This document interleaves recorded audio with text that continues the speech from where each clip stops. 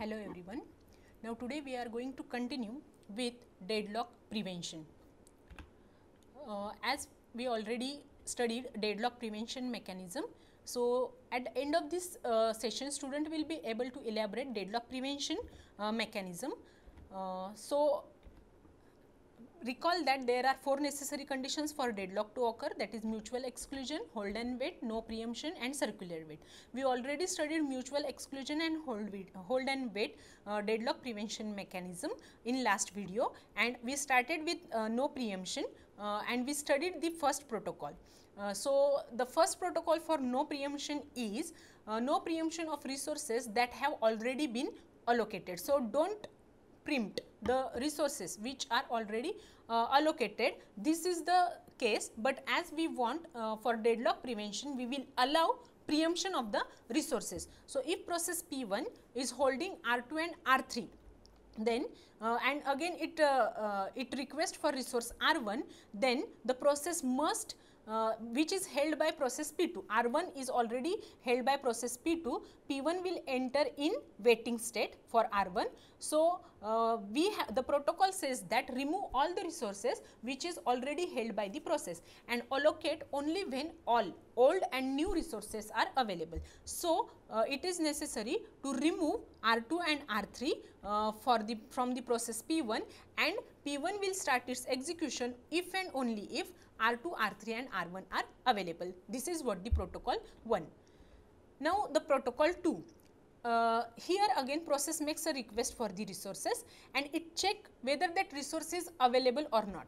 If it is available then allocate. If no then check whether uh, the alloc whether that resource is allocated to other process which is waiting the process which is waiting. If that process is waiting then preempt all the resources from that waiting process and allocate it to the requested process. So, for example, in previous case as P1 is requesting for R1, but that R1 is already used by P2, check that whether that P2 is in waiting state. If that P2 is in waiting state, then preempt all the resources of P2 and allocate particular R1 to P1 so that P1 can continue its execution. This is the difference between first and second protocol. So, but if the process is not in waiting state means P2 is not in waiting, waiting state then requesting process that P1 must wait. So, while when that P1 is waiting while process is waiting and if some of its resources may be preempted if another process request for that resource means now P1 will enter into the waiting state and uh, if that R2 and R3 is requested by some other process then automatically R2 and R3 will be preempted. So, the waiting process resources may be preempted. So, process is restarted only when all the requested and preempted resources are allocated to it. This is what the protocol 2. Now, in which case, just pause the video and think that in which case these protocols can be applied. So, these protocols can be applied in case of CPU registers and memory space. Uh, state of these resources can be easily saved and restored. We can easily save the state of the CPU registers and memory space. So, uh, it these, uh, this protocol uh, 1 and 2 cannot be applied for the resources such as printer and tape drive okay it can be allocated to only software resource. Now here cpu registers and memory are software uh, resource or logical resource while printer and tape drive are the physical resource. Now the next we are going to study the circular wait now in circular wait as we know the processes are waiting for each other and the last process is again waiting for the first process. So uh, for this condition for prevent this circular wait we require total ordering of all the resource types. Resources must be ordered. Okay. So, each process must request a resource in an increasing order of enumeration. Okay.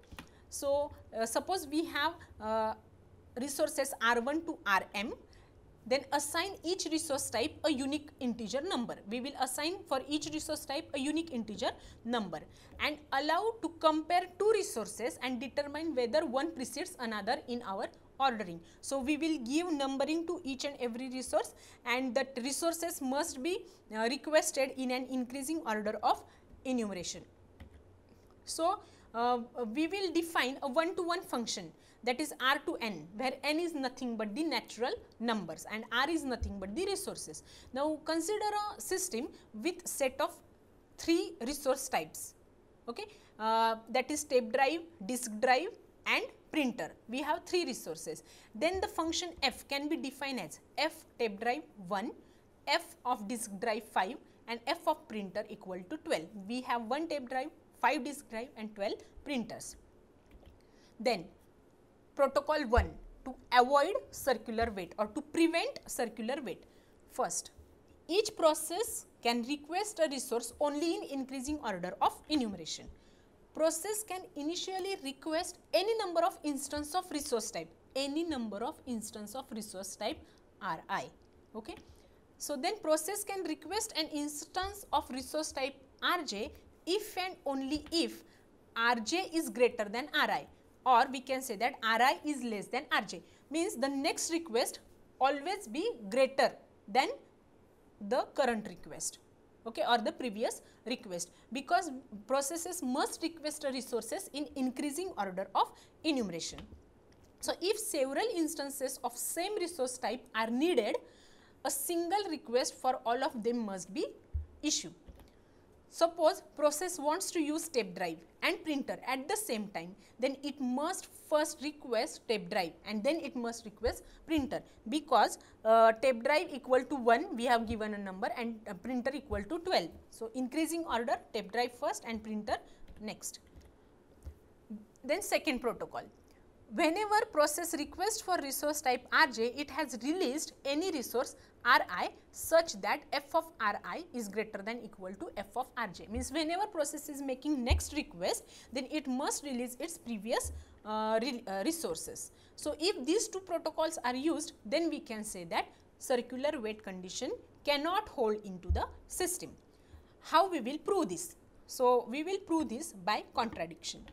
So, consider set of processes P1, P2, P3 up to Pn be n number of processes we have where Pi is waiting for Ri which is held by Pi plus 1 then Pi plus 1 is waiting for uh, the resource uh, Ri uh, which is held by I, Pi plus 2 the next process means P1 is waiting for P2, P2 is waiting for P3, P3 is waiting for P4 like that up to n. Okay. This is the condition P1 is waiting for P2, P2 is waiting for P3, P3 is waiting for P4 and then again P5 is waiting for P1. This is the condition that we um, now we are going to prove how circular wait cannot hold into the system. So, how we will prove? Since we are saying that Pi plus 1 is holding Ri while requesting Ri plus 1, we must have that Ri less than Ri plus 1. Obviously, because we are saying that process must request resources in increasing order of enumeration. So, f of Ri must be less than f of Ri plus 1 for all i. Okay. So, this means that f of R0 should be less than f of R1, f of R1 must be less than R2, f of R2 must be less than f of R3 like that f of Rn must be less than f of R0. But by transitivity, we can see here f of R0 less than f of R0 which is not possible. This is impossible. So, we can say that this circular wait will never hold in the system if process request a resource with an increasing order of enumeration. Okay? So, circular wait will never hold in the system. So, f should be defined according to normal order of usage. So, whenever uh, the, the, f is defined that f must be defined according to the normal order of usage. So, the tape drive is usually needed before the printer. So, it should be reasonable to define tape drive less than f of printer. Now, actually first assumption for circular wait is what that all resources must be requested in increasing order of enumeration and we have to give a unique number to each and every resource. So, as we have to give unique number to each and every resource while giving numbering to that resource uh, it must be uh, uh, think in a in such a way that before printer obviously we will require either tape drive or disk drive. So, no there is no point to access printer first because if we do not have any data then how we will print it. So, it is uh, desirable to have a tape drive first and then printer. So, like that we have to give numbering to the resources after studying that resource which resource will need first and which resource will need next.